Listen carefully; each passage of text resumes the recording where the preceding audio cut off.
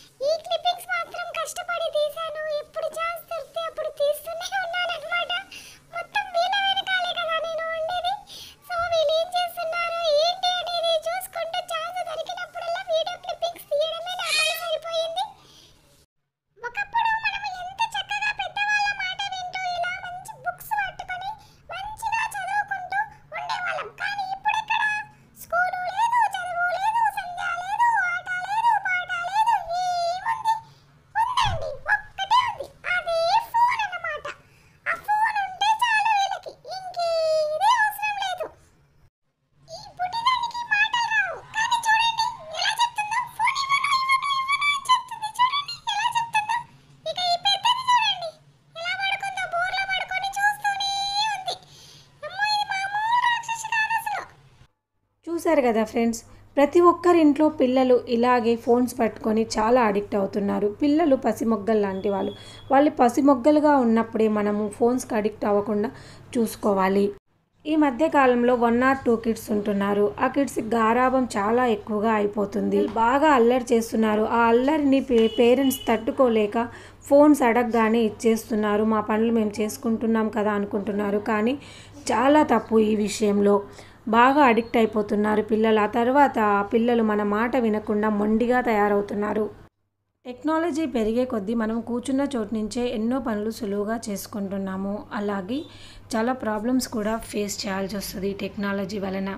Friends మీరు మీ కిడ్స్ని జాగ్రత్తగా చూసుకోండి. హ్యాపీగా ఉండండి. నేనైతే నా మేనకోడళ్ళతో చాలా చాలా బాగా ఎంజాయ్ చేస్తున్నాను. వీలున్నప్పుడల్లా ఇలా క్లిప్పింగ్స్ తీస్తున్నాను వీడియో క్లిప్పింగ్స్ ఇలా తీస్తున్నాను. సో ఈరోజు మీకు షేర్ చేస్తున్నాను. Thank you for watching friends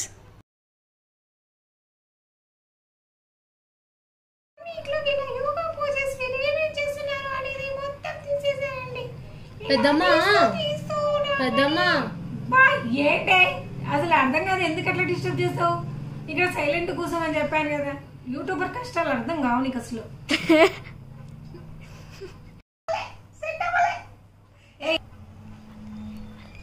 చేస్తున్నావు వీడియో తీస్తున్నావా?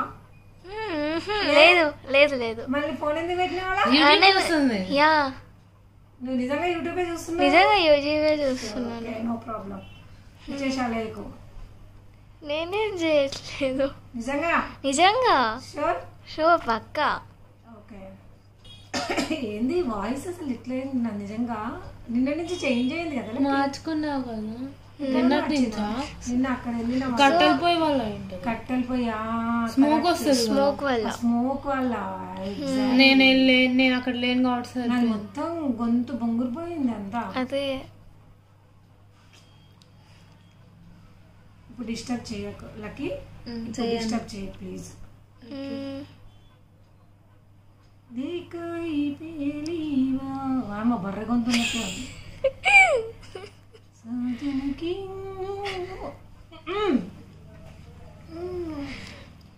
ఇప్పుడు ఏం చెప్పాలబ్బా ఇంతకి నేను అసలు?